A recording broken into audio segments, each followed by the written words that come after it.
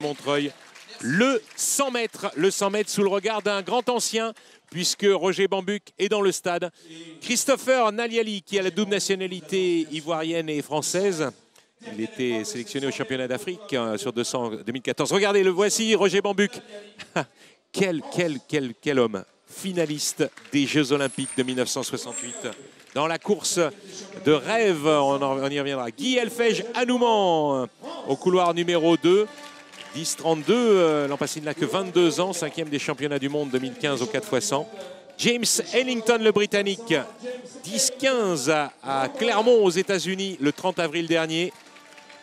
Le finaliste des championnats du monde 2015 sur 4x100. Ici, Wilfried Kofi, l'Ivoirien, qui s'est fait prendre le record de Côte d'Ivoire qu'il avait à 10-01 depuis Tempe le 9 avril. C'est Ben Youssef Meite qui l'a battu à Prague en 9,99.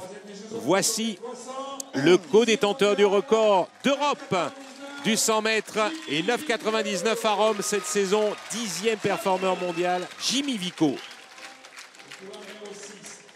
Au 6, on va retrouver l'Américain Beiji Lee, 9,99, 10,09 cette année à Phoenix le 21 mai, 9,99 son record.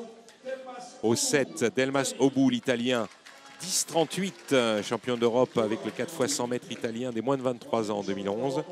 Et au 8, Pierre Vincent, 10-40 son record. Troisième des Europes avec le 4 x 100 en 2014. On regarde Jimmy Vico, 9,99, superbe course à Rome, Jean. Et on attend bien entendu beaucoup, beaucoup de Jimmy. On va surveiller le vent. Le vent a l'air un petit peu moins fort, toujours favorable, mais un peu moins fort, ce qui est de bon augure pour un chrono enfin officiel. Euh, et surtout, euh, à regarder ce chrono de, Jimmy Vico, 9,99 cette saison, on sait qu'il peut faire beaucoup mieux.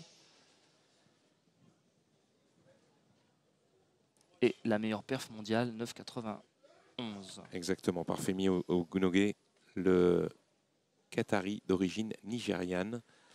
Jimmy dans son stade, devant son club, puisqu'il est licencié, vous le savez aussi, à Montreuil.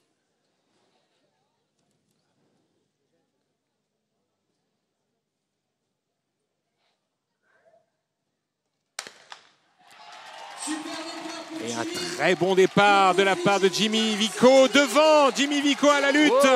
Jimmy pour un chrono 9,86. Le vent, Énorme. le vent 1m8 par seconde, 1m8 par seconde, record d'Europe égalé, record d'Europe égalé. Et attendez, si ça c'est officieux, c'est pas ramené 9,86. C'est officiel.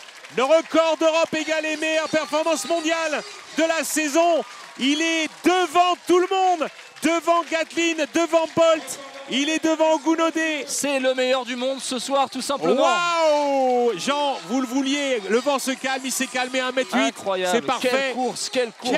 Quel départ, la mise en action est remarquable. Après, il y a une puissance qui se dégage de ce garçon quand il se met à ouvrir la foulée. Oh c'est incroyable. 9,86. c'est énorme. Record d'Europe. Ah oui, son record d'Europe égalé. Il retrouve bien sûr ce record avec Francis Obiquelu, le, le Portugais. Quelle performance de la part de Jimmy Vico. On s'attendait à une perf de la part du Français, mais ça, ça c'est très fort.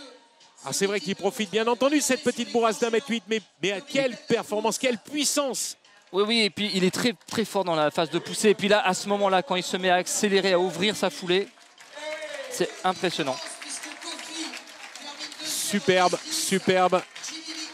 Jimmy Vico devant euh, Wilfried Kofi 10-10, Ellington 10-11, BJ 10-16 et Niali 10-37, Anouman 10-40. Regardez cette belle image.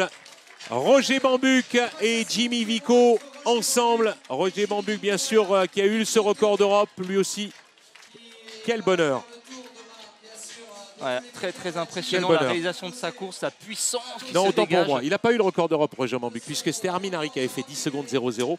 Et euh, Roger Bambuc lui avait fait 10-11, euh, c'était son temps euh, officiel. Il a été dans la course aux, aux États-Unis, de la course avant des sélections américaines pour les premiers moins de 10 secondes manuels. Et ce qui est très impressionnant dans cette course, c'est que